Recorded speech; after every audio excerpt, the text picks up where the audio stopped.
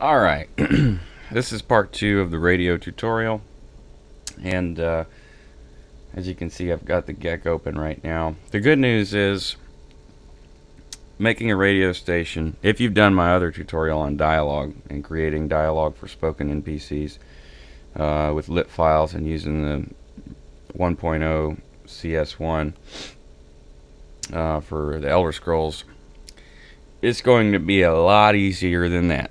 Okay, so that's good because uh, doing doing dialogue for NPCs on Fallout can just be time consuming.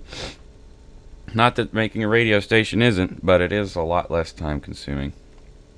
Alright, so um, I'm assuming that if you're interested in making a radio station, you've seen the other tutorial, uh, which is a very good tutorial. The one, the first one that I used. Um, I don't know who did it, but uh, it's one of the only radio station tutorials. One of the first tutorials um, that actually came out uh, for making a radio station. And this is my voice actor, so I'm going to pause this because he's supposed to be coming over today. Okay. yeah, I kind of lost track my train of thought. Okay, so like I was saying, radio is much easier to do than dialogue. So uh, there are some there are some fundamental differences though. To start a radio station, what you're going to do is uh, go into your object window, select all, all right, for the filter, all the way at the bottom. You know, click on all so that you're searching everything, and then go ahead in the filter box and type in radio G. All right, and that'll bring up five or six items. Uh, the one you're interested in is the talking activator, which is the very top. Uh, looks like a little computer console with a little uh, text bubble. And there's only uh, six users, and there's uh, two count of it in the game. now, in the other tutorial, uh, it went about it a different way. I'm going to show you a quicker and easier way uh, and uh, a way to place your talking activator in the world without without worrying too much about uh, uh, messing up the the game or the mod. Okay, so uh, if you're familiar with editing objects and creating new forms already, this won't be a big deal. But you're going to double click on the Radio Galaxy News talking activator and you'll see this dialog come up which you probably can't see. Uh, but what you're going to do is you're going to go ahead and give it a new ID. In this case, um, I'm going to give it uh, the ID of AAAHS. Now let's do AAHS. Uh, Crow Radio Jazz. Okay. Now we have to give it a name. Um, and since I'm not entirely sure what they want to name it, um, this is I'm doing a mod for the Commonwealth uh, mod, and right now they named the radio station WeFunk, but I'm putting a lot of jazz on the station, so I'm not really sure what I'm going to call it. So for right now, I'm going to call it uh, We Jazz. All right. And uh, as far as the options, you're going to want to make sure radio station is checked off, as well as continuous broadcast. And uh, the rest of these, don't worry about. But click OK, and then you will get this uh, create new object, which is pretty normal if you're used to creating new objects. And it's going to ask you if you want to create a new form.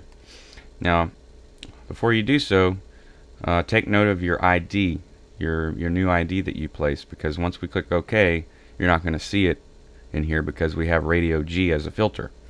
So the ID is AAHS Crow Radio Jazz or whatever your ID is. Alright, so click yes. Now, here we have our activator. Okay, so this is the cell where the radio station actually exists in the Commonwealth mod. So this is where I'm going to put my talking activator.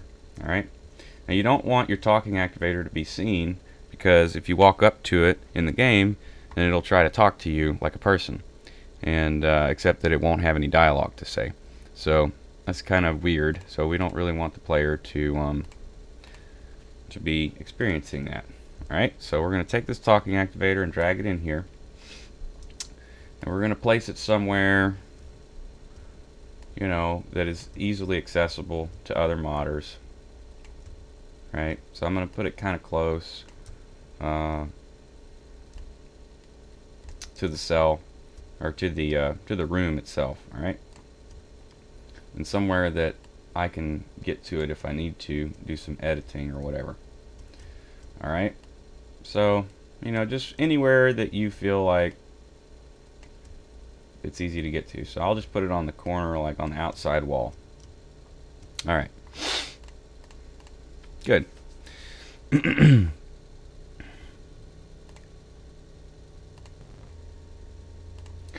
All right.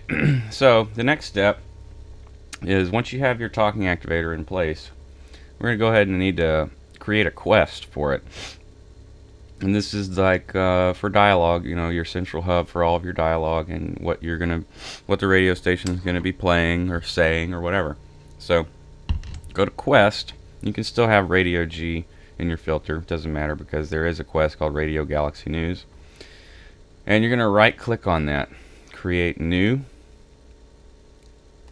and then type in the name of your quest which I'll just do AAHS crow radio, jazz, quest. Alright? For the ID. And then the quest name, I'll just call it uh, We Jazz. Because that's the name of the radio. Priority will be 55. Start game enabled, yes. Allow repeated conversation topics, yes. Alright and now we're going to click OK. That's important because if you move to any of the other tabs it will erase your data. So you have to click OK and that'll save the quest. Um, unlike some uh, dialogue, you're going to have to assign a quest condition. And uh, to do that, it's under the quest data tab. Just reopen your quest and then add a new quest condition. GetIsID and then you're going to look for the talking activator uh, for your radio station which would be AAHS for me uh, where is it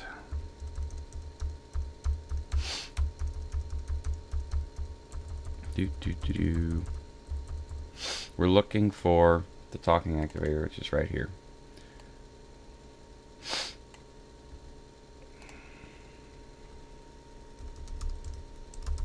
There we go.